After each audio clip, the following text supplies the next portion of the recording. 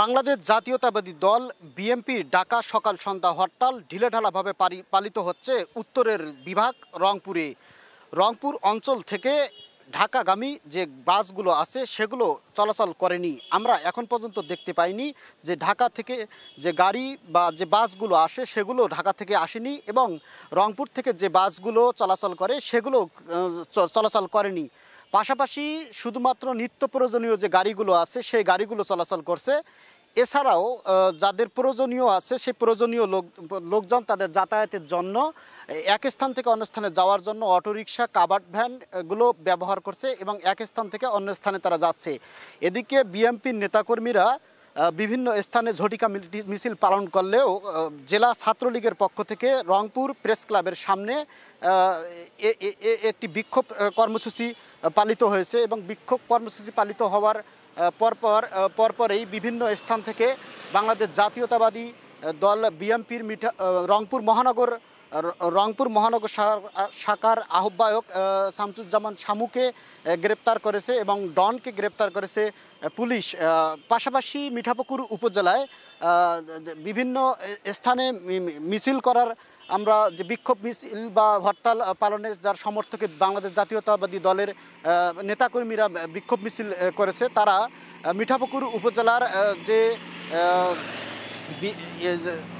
জালালগঞ্জ এবং মিঠাপুকুর যে রোড আছে, সেই রোডে তারা বিক্ষোভ মিছিল, কর্মসূচি পালন করেছে। আমি যদি আপনাদেরকে দেখাই যে ঢাকা থেকে রংপুর থেকে ঢাকা যে বাস কাউন্টারগুলো আছে, যে দ্রুতগামী যে বাস, এই বাস কাউন্টারগুলো কিন্তু সকাল সন্ধ্যা হরতাল হওয়ার কারণে এই বাসগুলো, কাউন্টারগুলো বন্ধ রয়েছে এবং বন্ধ থাকার কারণে কিন্তু রংপুর অঞ্চলের মানুষেরা বা এই মিঠাপুকুর অঞ্চলের মানুষেরা ঢাকায় যেতে পারছে না। এবং ঢাকা থেকে কোনো গাড়িও রংপুরে আসতেছে না এবং রংপুর থেকে কোনো গাড়িও ঢাকার দিকে অভিমুখে যাত্রা করতেছে না। শুধুমাত্র নিত্য প্রয়োজনীয় গাড়ি এবং পণ্যবাহী কিছু ট্রাক মাঝে মধ্যে এই রাস্তা দিয়ে চলাচল করছে।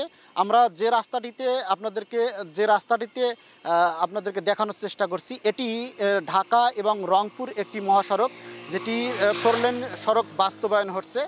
এই ফোর লেন আহ, সড়ক বাস্তবায়নে যে রাস্তাটি আপনাদেরকে আমরা দেখানোর চেষ্টা করছি, এটি আজকে রংপুর অঞ্চলের যে ঢিলেঢালাভাবে যে হরতাল, সেই হরতাল আমরা দেখতে পাচ্ছি। তবে ঢিলেঢালাভাবে হরতাল হলেও স্থানীয় যে বাসগুলো আছে এবং ঢাকার যে দ্রুতগামী যে বাসগুলো এক স্থান থেকে অন্য স্থানে যায় এবং ঢাকা সহ বিভিন্ন জেলায় যে বাসগুলো চলে, এই বাসগুলো চলাচলের যে গাড়িগুলো আছে, সে গাড়িগুলো কিন্তু আজকে হরতালকে উপ উপেক্ষা করে চলাচল করতে দেখা যায়নি এবং আমরা এখন পর্যন্ত দেখতে পাইনি। শুধুমাত্র নিত্য প্রয়োজনীয় যে গাড়ি, সেই গাড়িগুলো কিন্তু চলাচল করছে। ভ্যান, অটোরিকশায় মানুষ তাদের প্রয়োজনীয় যাতায়াত করতেছে। বিভিন্ন শিক্ষা প্রতিষ্ঠান সেগুলো সচল রয়েছে এবং হরতালকে কিন্তু সাধারণভাবে মানুষ এক প্রকারেই বর্জন করেছে বলে আমরা জানতে পেরেছি।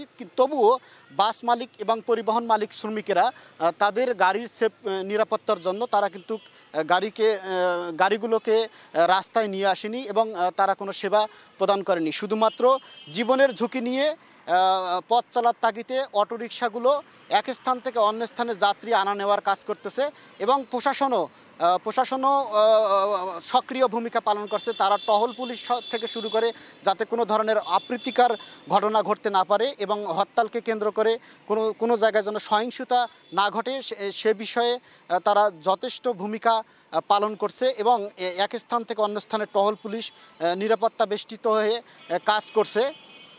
তো আমরা এই রংপুর অঞ্চলের বিভিন্ন স্থানে খবর নিয়ে জানতে পেরেছি যে এখন পর্যন্ত কোনো স্থানে কোনো প্রকার বড় ধরনের কোনো ক্ষতির সম্মুখীন হয়নি এবং কোনো ধরনের সহিংসতার ঘটনাও ঘটেনি বলে আমরা জানতে পেরেছি।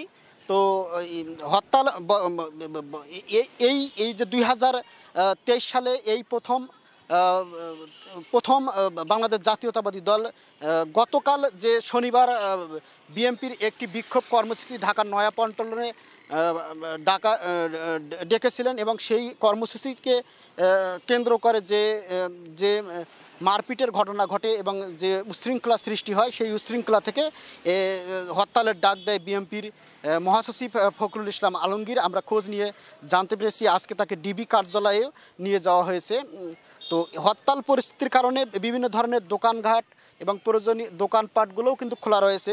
তবে প্রয়োজনীয় দোকানপাট ছাড়া অনেক দোকানেই বন্ধ রয়েছে। গ্রাম অঞ্চলেও এই হরতালের প্রভাব অনেকটা লক্ষ্য করা গেছে।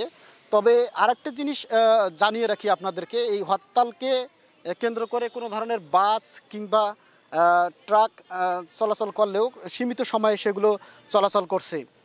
বিএমপির ডাকা এই সকাল সন্ধ্যা হরতালকে কেন্দ্র করে সারা বাংলাদেশের ন্যায় রংপুরের মিঠাপুকুর উপজেলার এই সর্বশেষ পরিস্থিতি জানালাম আমি রুবেল ইসলাম, রংপুর প্রতিদিন।